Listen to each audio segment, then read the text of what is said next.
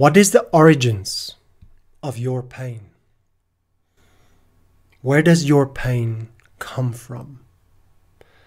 Now, I'm not talking about physical pain. Even though physical pain in the form of big T trauma, shock and awe trauma, can lead to long lasting emotional and psychological pain, which is what I'm actually asking. The kind of pain I'm talking about is the pain that keeps us stuck, the pain that keeps us trapped, the pain that we carry with us every single day that prevents us from actually being fully conscious, fully aware, fully present, and just quite simple, happy. The pain that makes us believe that this is the end. Nothing will ever change. This hardship I'm going through, this is going to be the rest of my life the pain that makes us give up hope. The pain that stops hope from ever developing. Where does that pain come from? Hmm. These are not questions for the faint hearted. This is not a topic that somebody who has never experienced this kind of pain will ever have a reason to think about. The truth is much more aligned with I only think about this when I hurt. And why do I think about this? I think about this because I hurt, because I want to make this pain go away. Hi, my name is Marcel.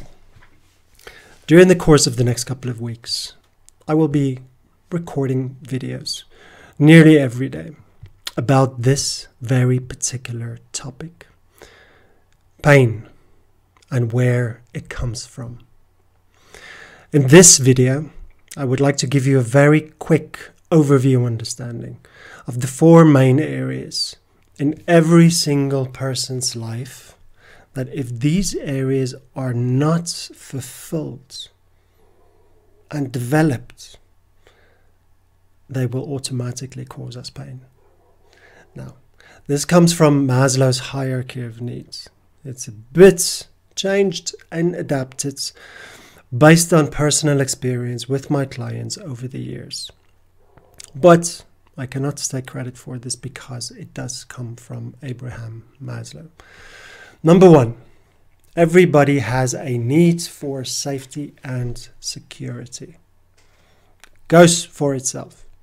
If this need is not met, well, you don't have space to think about anything else.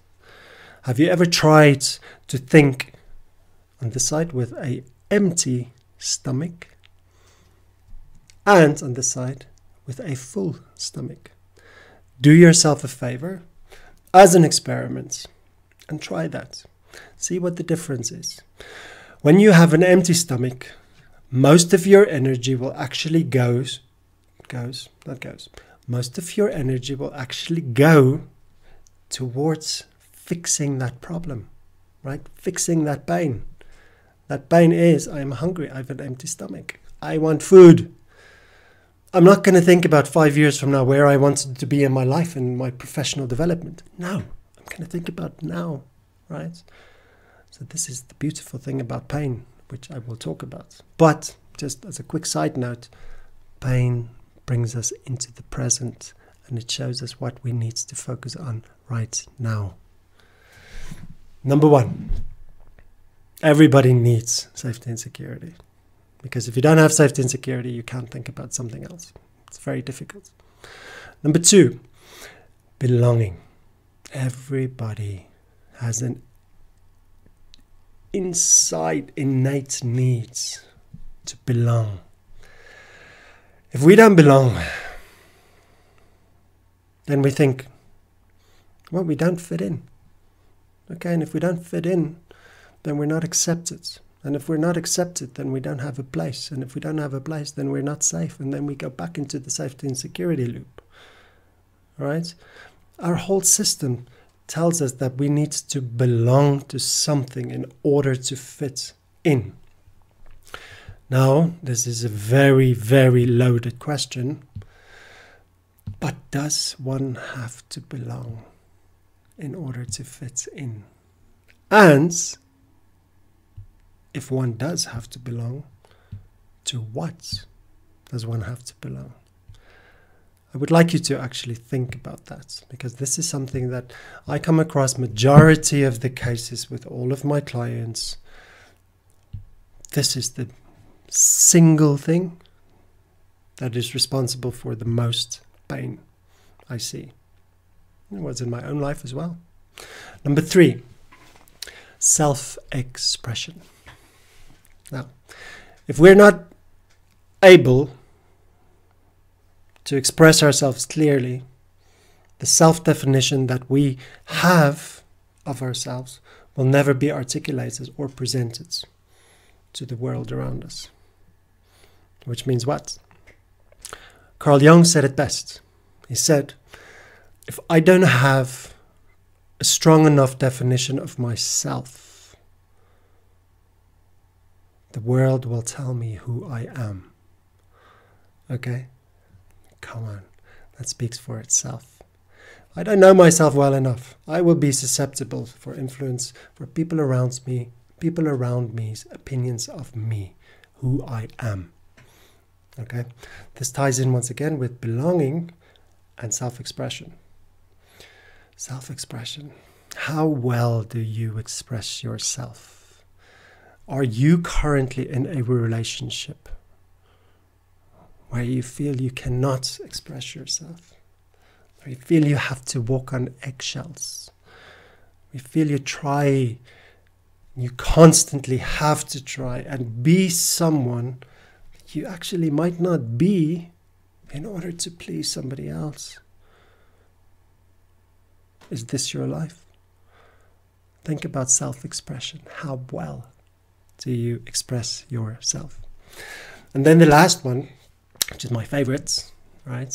If and once safety and security has been met, and belonging has been met, and self expression has been met, our fourth and automatic, beautiful need becomes social philanthropy. Because once we've ticked these boxes, one, two, and three, then we automatically have developed so much that we realize everything is connected. And then we want to make things around us better instinctively. So, this is a very short introduction into what I will be talking about over the next series of videos. If you have any questions, please reach out to me privately. Um, my contact details are available. On this page, um, you can go to my Facebook, my LinkedIn accounts. You can go to the website, changesolutions.eu. If this is something you're struggling with personally, reach out to me. Okay? If you don't want to reach out to me, just comment, like it. I haven't made videos for a while because I've been going through a difficult COVID related situation, which I will also tell you about later on. So I'm trying to pick up traction again in order to get some of the content that I'm working on at the moment out to you guys again. Everything that I will be talking about are things that I work with on a daily basis with my clients. Before I helped people to help themselves, I went through all of these things myself. So these are things from personal experience. Okay, guys, that's me. Look after yourselves. Take care. Bye bye.